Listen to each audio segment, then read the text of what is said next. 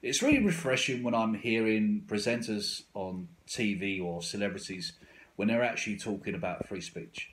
But to me, I don't believe they understand what free speech actually is. You see, free speech is basically being able to say what you like to who you like. And the only curb on that is incitement, uh, calling to action. So, for instance, uh, me uh, saying, right, we should go out and do this to this person, that kind of thing. That's incitement. Um, and the most obvious one is uh, shouting fire in a cinema. You can't do that because people are going to get hurt. It's a call to action. That's the only um, straight line, really, in reference to speech. Everything else is admissible. Uh, at no point, this this is this is me. This is what free speech actually means. At no point should the government or the police be knocking on my door because I said something to someone. It literally is uh, none of their business. That's the way I see free speech. What that is what free speech is. But the likes of the celebrities, presenters, and and uh, politicians still don't understand that the, the, the, the pivotal part. Now, why is it important to have free speech? Well, let's go on with the side of people that say they're against the free speech because it breeds hatred and all that kind of stuff. Let me ask you a question. Would you prefer it that uh, someone that was part of the National Front or the KKK were just underground and, and they only talked to their people, never really talked to anyone outside? So you didn't know whether or not they had feelings that maybe black people were inferior and all that kind of stuff? Or would you prefer it that they were able to come out with these things and you was able to debate them?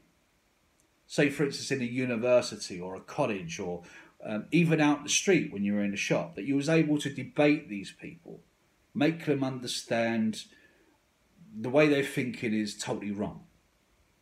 See that that's that's the pivotal part. Being able to change someone's mind, which has been done on many occasions. I, I remember watching a documentary about a um, a jazz uh, artist in America, and he decided to set up a meeting with the KKK. The jazz artist was a black guy, is a black guy, he's still around actually. I forgot his name. Uh, I'll put it down below. But he went he went out of his way to make a meeting with uh, one of the high ups in the KKK. Had a meeting. Then he started to meet the the, the Klan, as it were. Um, then he brought in a sort of relationship between the head of the Klan and himself, and ended up changing the minds of several of the Klan members. So much so that they gave this black jazz artist their costumes and said, "Look, I've had enough you, you are absolutely right. That's it. You see, that's the point.